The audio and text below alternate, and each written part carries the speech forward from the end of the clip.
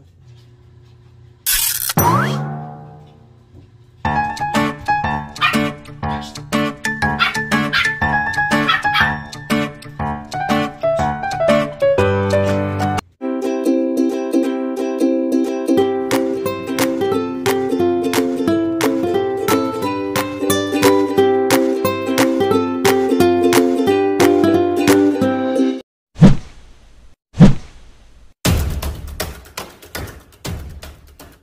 Hi everyone! So welcome back again dito sa aking YouTube channel. Then ako nga po pala si Jan sa mga hindi po nakakaalam.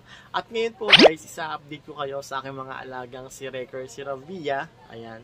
So sa mga hindi po nakakaalam, si Reker po ay 8 months old. At si Ravia naman po ay 9 months old na. So si Ravia, meron siya ngayong menstruation or buwan ng dalaw. And then si Reker naman is ayun na, nag-aaral na siya mag-stud. So, ngayon guys, uh, nagdadalawang isip ako kung lalagyan ko ba siya ng diaper. Sa tingin nyo, comment down below kung dapat ba siyang lagyan sa Ravia ng diaper. Kasi guys, uh, nagdadalawang isip din ako kasi nga pag naka-diaper kasi si Ravia, kailangan papalitan mo rin yung kanyang diaper. Eh, meron tayong trabaho. 8.30 pa ako nakaka-uwi ng gabi So, ang uwi ko kasi ay pasok kasi 7.30 and then balik ako ng 11, ng 3. Tapos, uwi ko na nun ng 5. So, siguro pwede. Pero kasi guys, kapag nagda-diaper kasi, mas prone siya sa bacteria. Although, hindi nga mabubuntis yung aso nyo. Pero, ang matatamaan naman dyan is yung mattress or yung kanyang organ. Ay, yung vagina. So, correct me if I'm wrong, pero mas prone kasi sa bacteria kapag naka-diaper. Pero guys, bago ang lahat, kung bago pa lang po kayo dito sa aking YouTube channel, so huwag niyo po sana kalimutan mag-subscribe at i-hit niyo na rin guys yung notification bell on para ma-notify kayo sa mga susunod nating panibagong video na gagawin dito sa aking YouTube channel, Dogs Caring Tip. So, ayan, share ko rin sa inyo kung ano nga ba yung mga dapat natin gawin kapag bago yung mga pagkain natin binili ng mga aso. So, para rin maiwasan natin magkakaroon ng amag kasi napaka-importante sa mga dog food na hindi ito inaamag or nagkakaroon ito ng bakterya. So, ano nga ba yung dapat natin gawin sa pagkain ng aso kapag bagong bili or na-transfer natin sila sa bagong lalagyan. So, yun share ko sa inyo. And yun lang guys, so please stay and keep on watching. Reker, grabe. No?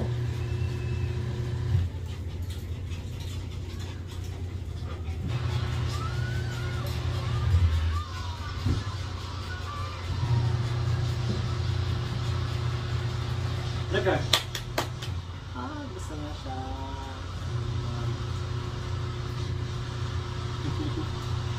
Is 9 months pa lang. September, October, November, December, January, February, March, April, May, June.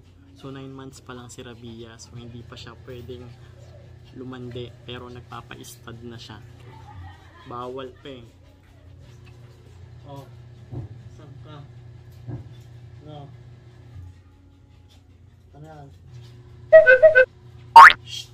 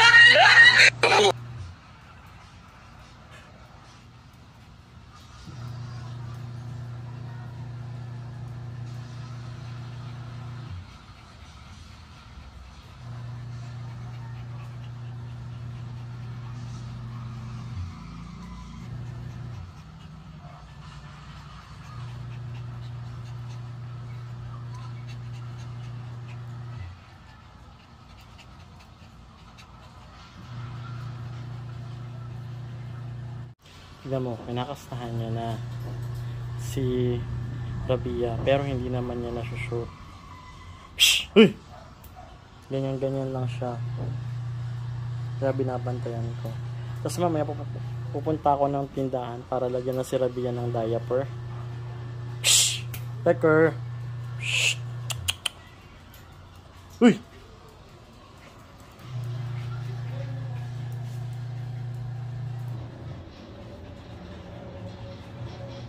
Mga aso kasi guys, ah, nature na nila yan. So, kailangan lang talaga is prevention para hindi mabuntis si Rabia. Kasi sa edad pa ni Rabia guys, is she's only a 9 months old. Actually, papi pa siya eh, kasi 9 months pa lang. So, kailangan talaga ng prevention para hindi siya mabuntis. Kasi masyado pang ma- mura yung matres niya, masyado pang bata, hindi pa ganun fully developed. At kahit saan naman guys, or kahit kaninong alagang aso, hindi pa pwedeng magbuntis yung 6 months old. So, sa vet naman guys, ang pinaka ano nila is ika-second menstruation ng aso. ang pagkain ng dogs ko. Ayan. With matching Liberolin vitamins. Tapos, ito naman ang pagkain ko. Bagoong alamang. 'Di ba? So guys, ito tips la tip lang, tips kapag bagong bili yung mga dog food nyo tsaka mga canned goods nyo. So ito yung maaari nyong gawin para hindi mauurin o kaya magkaroon ng bolate or amag yung mga dog foods nyo. Kasi once na nagkaroon na ng amag yung dog foods nyo, so hindi nyo na pwede siyang ipakain sa mga dogs nyo. So kahit isang pirasong butil ng dog food nyo ay nagkaroon ng amag. So, mas maganda i-dispose mo na ito kasi baka pagmulan ko to ng sakit ng mga dogs nyo. So, ang gagawin nyo lang guys, gumawa lang kayo ng plastic container. So, kung gumagamit kayo ng mga ganitong container, mas maigi guys, hugasan nyo maigi. Ayan. Tapos, kung ang binibili nyo is per kilo, ganito, ang gamit ko pala sa aking dog foods ay holistic puppy. Ang ginagawa ko na lang guys, hindi ko na siya tinatanggal sa plastic. Nilalagay ko na lang siya sa loob. Ayan, para hindi siya langawin. Kasi medyo, lalo na kapag medyo malangaw sa inyo. Ayan, so igaganto ko lang siya. Bubuhol. Tapos, naka-sealed lang siyang ganyan at saka ko siya tatakpan. So, ayan. Ganyan lang yung ginagawa ko para iwas amag. Hey guys, tip number 2. So, kung kayo guys is nagpapakain ng mga dogs gamit ang wet food na nakalata or mga nakatetra pack at merong mga sobra, of course, hindi yan agad-agad mauubos. Ang ginagawa ko guys, bumibili ako ng ganito sa palengke. So, yung ganito guys is 40 pesos. Bali, 10 piraso na siya. Tapos, washable naman siya. Hindi siya disposable. Ang ginagawa ko, nilalagay ko na lang dito. Tinatakpak ko. Ayan. Tapos, ilalagay ko siya sa rep, hindi sa freezer. Kasi pag sa freezer, uh, magyayelo siya sa rep lang. Para pag ipapakain na siya ng second meal, hindi ka mahirapan. Ayan. So, ganyan lang. Tapos, smash mo lang siya. Wala nang arte. Yan, ganyan.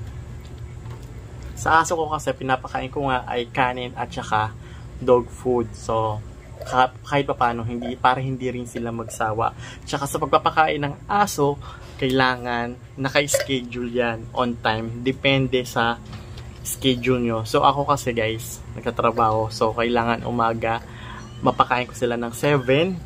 Tapos, sa hapon, alas 4 or alas 3. Tapos, yung ika-third meal nila ay alas 10 ng gabi. So, yun yung availability ko.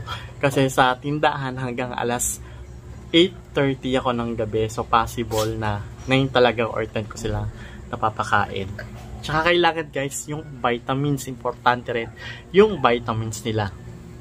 Tips, guys, mga ka-dog friends. So, napaka-importante ng vitamins sa mga aso nyo. So, kailangan may vitamins kayo. So, ako guys, isi-share ko sa inyo kung ano yung ginagamit ko sa mga dogs ko para hindi sila magsawa at mas lalong lumakas ang pagkain nila. So, ang ginagamit kong vitamins sa kanila guys ay Liberolin. Ayan. Ito guys, yan. Dahil ang Liberolin guys ay meron protect the liver uh, protects the liver from so ito yung mga pinoprotektahan niya um, vaccines tick and flea medication antibiotics deworms tapos environmental factors viruses food preservatives tsaka chemicals so ito guys is para sa liver so para hindi ka maiwasan rin magkaroon ng fatty liver yung mga aso nyo. So, napaka ganda nitong vitamins na to. At saka, gumagamit din ako ng Libe uh, LCB. So, yung vitamins guys, depende sa pangangailangan ng aso nyo. Lalo na kung nakikita nyong matamlay or walang ganang kumain. So, mas maganda ipakonsult nyo sa vet para mabigyan sila ng tamang vitamins na ipapainom sa kanila. Pero kung wala namang sakit yung aso nyo guys at okay na okay, so bakit hindi nyo itry itong Liberolin at saka yung LCB. Another tip guys, so kapag bumibili kayo ng mga ganitong canned goods, so alam nyo ba na dapat nilalagay lang to sa tamang temperature, wag sa masyadong mainit. Kapag masyadong mainit guys, uh, nagtutunaw yung mga sebo-sebo niya sa loob. Tapos nagkakaroon ng ibang amoy. So parang napapanis siya. Ganon yung na-experience ko sa mga canned goods kapag nala, inailalagay ko sa mainit na lugar katulad sa kitchen dahil dito sa amin wala kaming kisame. So napakainit kapag tanghali. Nasubukan ko na ilagay sa lamesa to at yon ang nangyari. Mabilis siyang mapanis na medyo may amoy. Un compare sa nilalagay mo sa tamang temperature kwartong nyo doon mo siya ilagay. Ako kasi naiiwan ko siya sa lamesa. Oh Grabe. Ang amoy niya nung inopen ko. Although hindi siya sira, pero madali siyang mapanis. So, yun yung kailangan nyo tandaan guys. Huwag sa masyadong mainit na lugar.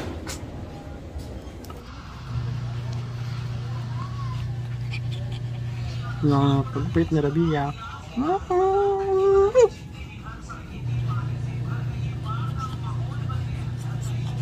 Kulit-kulit yung buhok niya.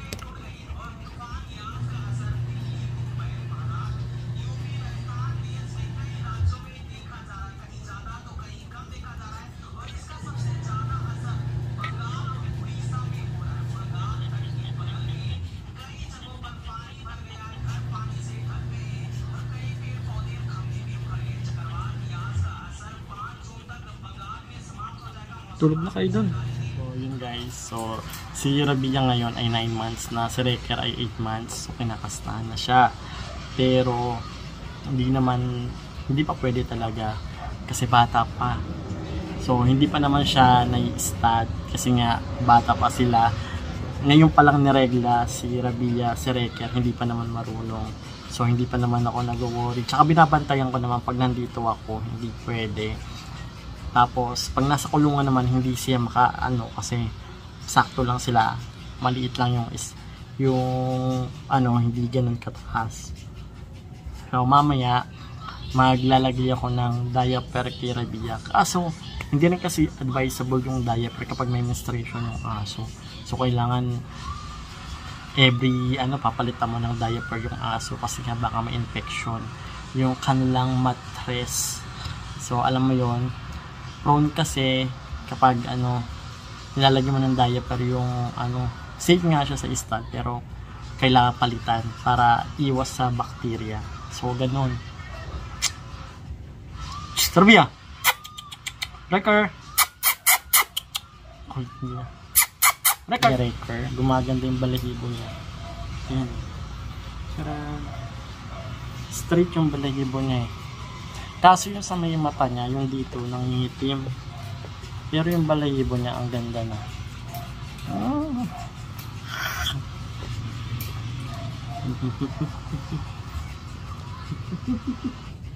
Sarap sa kalik. Ano? Hello everyone. Hello, hello, hello.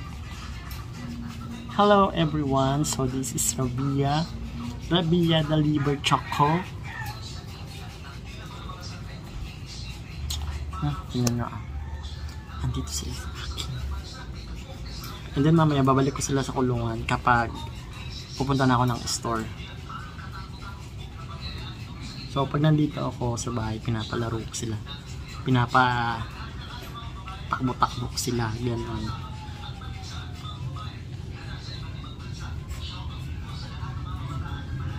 Hindi nyo makita yung mata niyan. Ayun. Taran! So,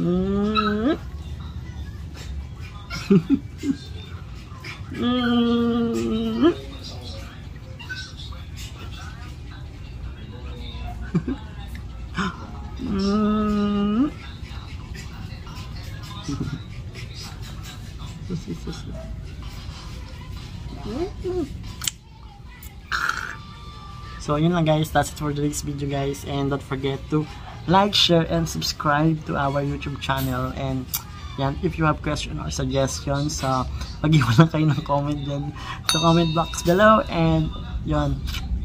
And thank you for watching. See you on my next video guys. Oh, oh.